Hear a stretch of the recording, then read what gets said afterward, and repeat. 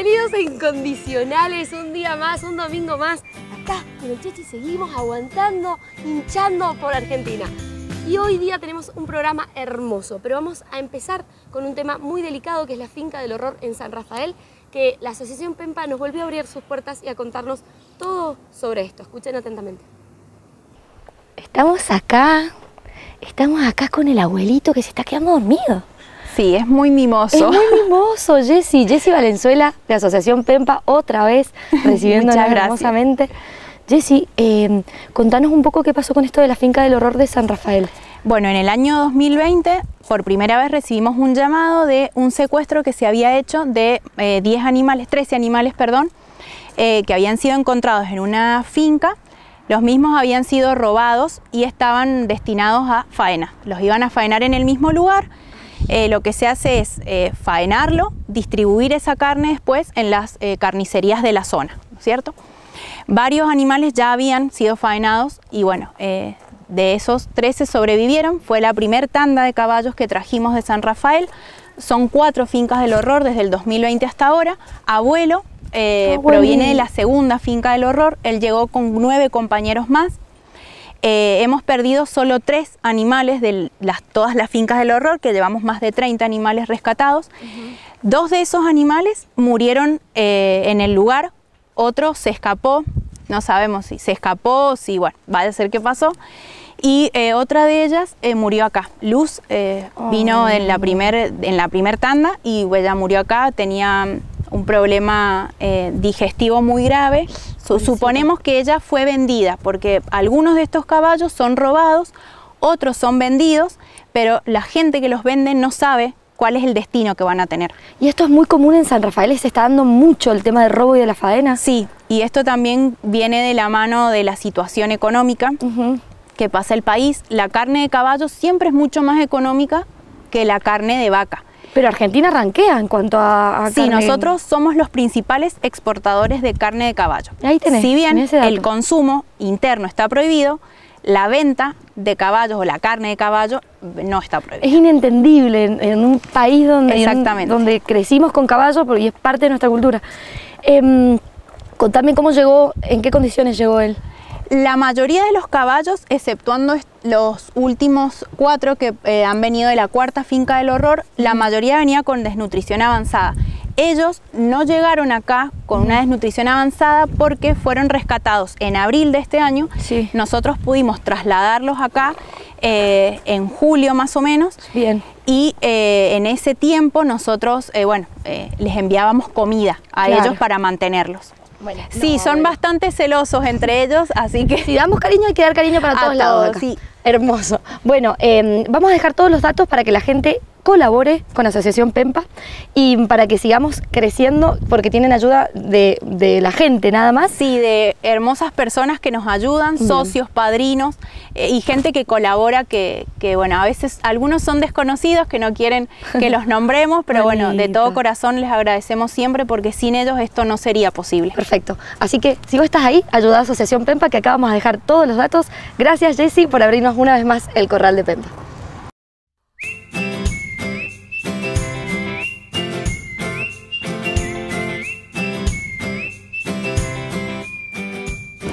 saben que el Chechi tiene mutual, sí.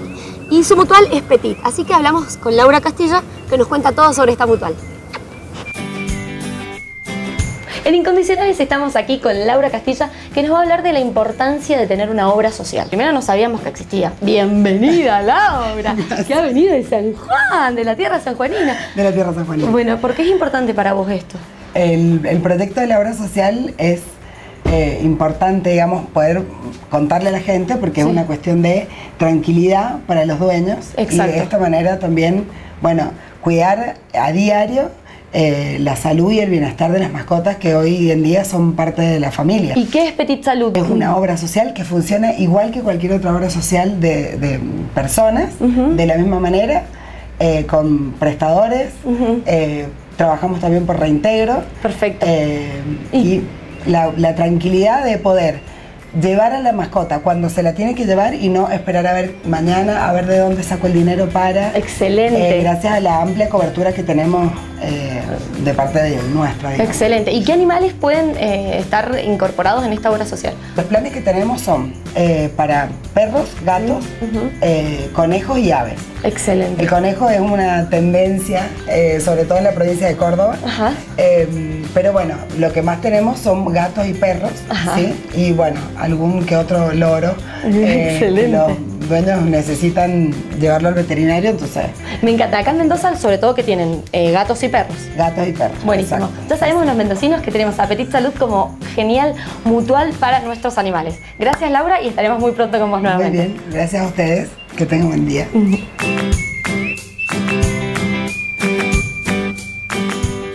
acá, sí, porque no le entra la camiseta de lo gordo que está, pero hinchamos por Argentina. Y ahora, la parte preferida de nosotros, tres minutos de etología con Nicolás Piva. Nuevamente, y volvemos a sección perros, Nico. Esta vez la gente me pregunta, Marcela, va a ver Marcela, dice, perros y sobrepeso, se ven muy afectados, ¿no es cierto? Sí. ¿Cómo hago para, que, para controlar esto? Bueno, lo ideal sería primero acudir a un, veterinario, a su veterinario de confianza, entender de que por ahí las patologías donde hay sobrepeso no solamente es una cuestión de que el perro esté comiendo más de lo que corresponde, sino que puede tener un problema hormonal. Y después contemplar la actividad física, que por ahí nos olvidamos un poquito. Eso, más actividad física para tu perro, Marce. Muy bien. Em, mi perro se come el excremento. Bueno, por ahí si bien es una conducta que para el ser humano es bastante asquerosa, se considera normal en perros hasta aproximadamente los 6-7 meses. Después es una conducta que desaparece naturalmente y lo vuelven a hacer las perras cuando tienen crías. Cuando tienen crías se comen los excrementos de las crías para no dejar rastros de olor. Y en un perro adulto que come materia fecal, bueno, hay que entenderlo, es un signo de una patología que se llama coprofagia, y puede estar indicando un trastorno de ansiedad o algún trastorno de tipo digestivo. O sea que hay que llevarlo al veterinario, que, ya está teniendo una, está afectado por algo. Bueno, este, esta me encanta, la voy a tener que filtrar por cómo me la redacto, pero mi perro se prende sexualmente a la pierna de todos los invitados. Maravillosa. ¿Qué hacemos con eso? ¿Qué es ese comportamiento? Bueno, la verdad que es una conducta un poco indeseable. Eh, no necesariamente que el perro esté montando la, la, pierna quiere decir que tenga intenciones sexuales. En realidad la monta tiene dos significados. Tiene un significado de, sexualidad, o sea, cuando busca una pareja sexual, pero también tiene un componente eh, para definir la jerarquía. Entonces, por ahí cuando un perro nos monta la pierna o monta algún objeto, lo que está queriendo es imponer su, jerarquía y ser el líder del grupo. Y si estamos, por ejemplo, en tu casa y para evitar que lo haga con los invitados o algo, ¿le podemos poner algún... no, no, no, es aconsejable. O sea, es preferible que si el perro tiene intenciones sexuales o se quiere masturbar, que es una conducta natural, lo haga en privacidad. Perfecto, me encanta. Muchísimas gracias. Bueno, ya tuvimos nuestros minutos. Gracias, Nico. Gracias a ustedes, que anden muy bien.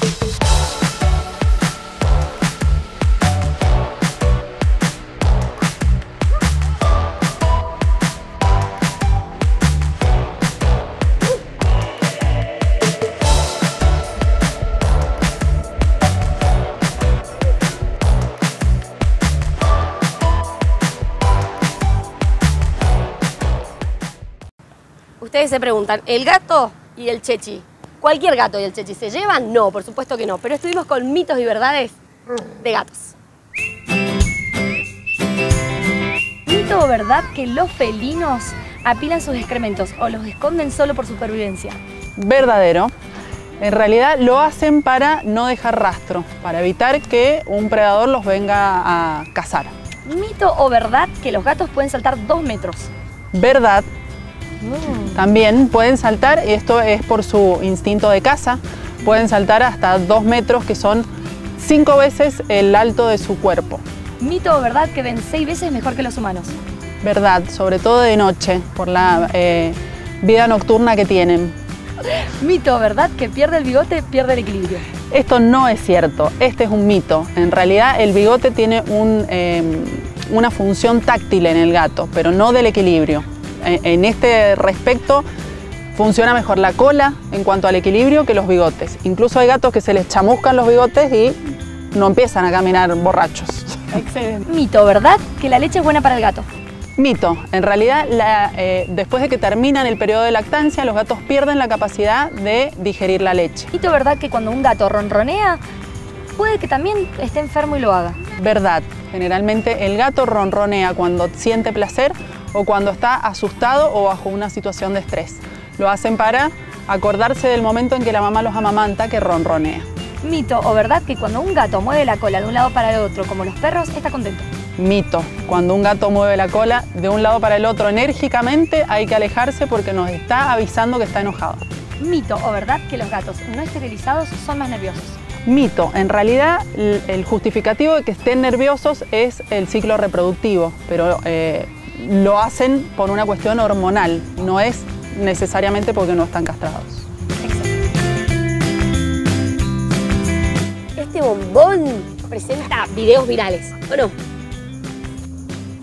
Vamos a buscar todo para que las tensiones se liberen y que los chakras se ordenen. Vamos a hacer una pequeña elongación con las piernas. Uno, dos, siempre. Nunca juntas, ¿eh? Siempre una, dos. Abrimos el tórax y ahí retiramos hondo.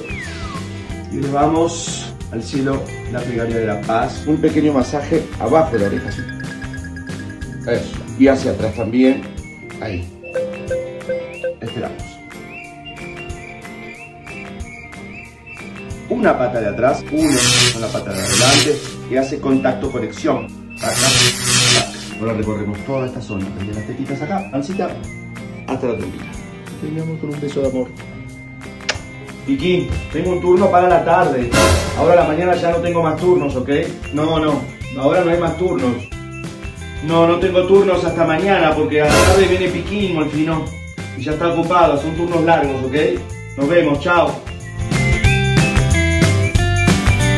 Tres minutos con Andrea Montalto, fisioterapeuta de veterinaria Roboli. Vamos. Vamos a hablar de eh, ruptura de ligamentos. Sí. Bueno, a ver, es una patología muy frecuente en la clínica, eh, en donde nosotros nos encontramos con un paciente que muchas veces eh, viene rengueando y nosotros al hacer el examen clínico nos damos cuenta que tiene ruptura de ligamentos. Lo más probable o lo más frecuente de encontrar en el caso de la rodilla es la ruptura de los ligamentos cruzados. ¿sí? Perfecto. En la rodilla tenemos varios otros ligamentos, pero estos son dos. Los que están por dentro tenemos el cruzado craneal y el caudal, que son el que más se rompe es el craneal. Lo que hacemos en la clínica es em, agarrar, hacer una pruebita que se llama prueba del cajón o de compresión tibial. Sí. Y por medio de esa prueba nosotros hacemos el diagnóstico de que efectivamente tiene ruptura de ligamentos. Bien. ¿sí? ¿Qué pasa cuando tenemos este, esta patología? Lo ideal es, una vez que se diagnostica, eh, es hacer la reparación Mm, de una forma quirúrgica, entrar a cirugía, reparar el ligamento que se rompió y hacer fisioterapia. Perfecto. La fisioterapia se puede hacer previo a la cirugía, como para ir ganando un poquito de masa muscular en esa patita, sí. que probablemente el perrito ya venga con una renguera y con un poco de pérdida de masa muscular, y así lo llevo más preparado al acto quirúrgico. Como mm, para que darnos cuenta, ¿siempre va a venir con una renguera o puede que no venga con una renguera y venga con otros síntomas? A ver, a veces es bastante evidente y otras veces lo que el dueño suele decirte es salió corriendo y sentí un grito y cuando volvió, cuando volvió el perrito tenía la patita arriba, ¿sí? Perfecto. Y después pueden o no tener eh, claudicación o renguera que puede ser o continua cuando sufren mucho dolor o intermitente y a veces la suelen confundir con otro tipo de dolores. Tenemos los ligamentos rotulianos, tenemos los ligamentos colaterales y por acá adentro, aparte de estar los meniscos, se mantiene la estabilidad con los dos ligamentos cruzados, ¿sí? el craneal y el caudal. Eh, entonces, lo que nosotros hacemos en la clínica es una prueba que se llama compresión tibial en perros grandes o prueba de cajón en perros pequeños, en donde se hacen movimientos hacia craneal y caudal de la tibia y cuando esos ligamentos están rotos, la tibia se suele desplazar más hacia adelante, ¿sí? Filmove, sponsor oficial de la hinchada más linda Argentina y sponsor oficial de Incondicionales. Nos apoya siempre, así que les mandamos un beso a ellos, a la gente de Jengibre, que me puso bella nuevamente, a Bioco en los zapatitos y a ustedes que están ahí todos los domingos a las 12.45 por el 7. La semana que viene me imagino que van a estar ahí.